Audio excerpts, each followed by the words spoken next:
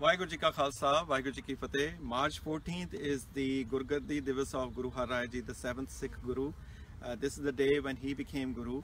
Uh, uh, and, and during his Guruship, uh, he enjoined uh, his followers to take steps to save Mother Earth and to um, you know have a caring relationship with the nature and with the other living beings, animals. Uh, and he also had a herbal garden to help uh, people who needed healing.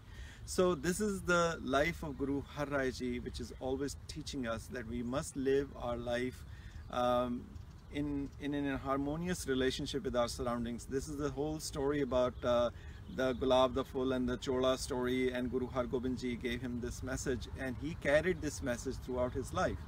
So on March 14th, let us all come together and commit to um, take some action to save Mother Earth.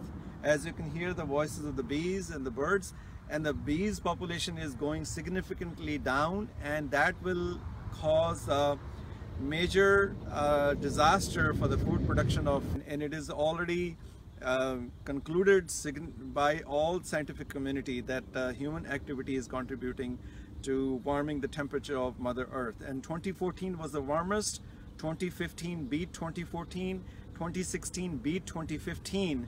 So each year the temperature is rising and that is going to cause uh, all the life uh, to have a major impact, a negative impact.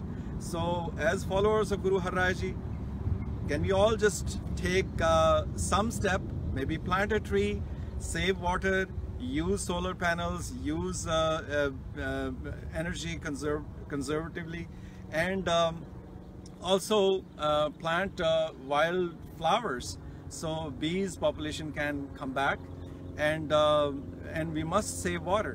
ਸੋ ਇਹ ਸਾਰੇ ਵੀਰਾਂ ਭੈਣਾਂ ਨੂੰ ਬੇਨਤੀ ਹੈ ਨਾਲ ਮਿਲ ਕੇ ਆਪਾਂ ਸਿੱਖ ਵਾਤਾਵਰਣ ਦਿਵਸ ਮਨਾਈਏ ਤੇ ਧਰਤੀ ਨੂੰ ਬਚਾਉਣ ਲਈ ਆਪਣਾ ਯੋਗਦਾਨ ਪਾਈਏ। ਵਾਹਿਗੁਰੂ ਜੀ ਕਾ ਖਾਲਸਾ ਵਾਹਿਗੁਰੂ ਜੀ ਕੀ